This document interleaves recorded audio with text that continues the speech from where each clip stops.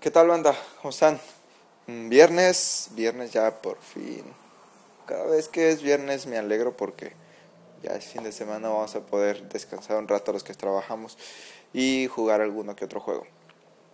Espero que se le estén pasando bien y haya sido una semana muy ligera para ustedes porque, hola Snake, para Team Bondi no fue una semana nada ligera. Team Bondi es el estudio desarrollador que se encargó de hacer Eleanor. Sí, este juego de gangster y de detectives de los años, no sé, 40 yo creo.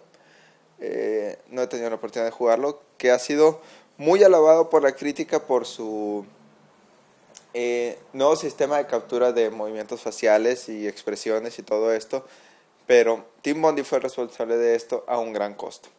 Para empezar, la tecnología era carísima. Segundo, se vio envuelta en un, en un gran dilema de administración.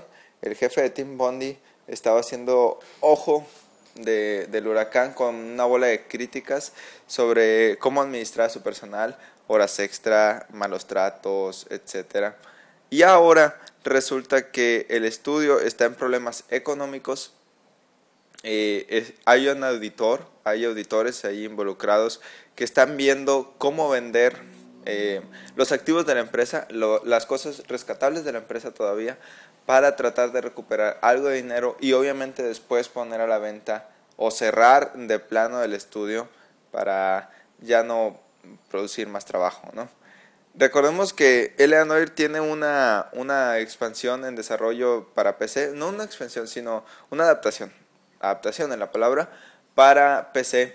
Esta adaptación está siendo desarrollada por Rock Stars, los publishers, sí, esos que publicaron este, también GTA. Ellos mismos están haciéndose cargo de la adaptación para PC, entonces pase lo que pase con Team Bondi, la adaptación no se detiene, Eleanor va a seguir. No se preocupen por eso, digo, los que se están esperando la versión de PC, ¿verdad? Bueno, pues veremos qué pasa con Team Bondi. No es de los primeros estudios que se cierran de este modo. Hay muchos estudios que últimamente han estado quebrando por falta de buena administración o por falta de proyectos y sobre todo por falta de dinero, por las crisis que ha habido en Estados Unidos. Bueno, manda, yo me despido. No sin antes recordarles, mañana, eh, sábado 3 de septiembre, se inaugura la nueva temporada de In Game. Es un podcast en el que yo participo, ya vamos por el episodio 91. Entonces, mañana, sábado 3 de septiembre, a las 3 de la tarde, eh, GMT-7, son las 4 de la tarde, hora centro. Los esperamos en el chat para que participen, es www.ingameovg.com. Eh, pueden entrar a comentarnos mientras estamos grabando y obviamente esos comentarios saldrán en la edición del podcast ya el día lunes.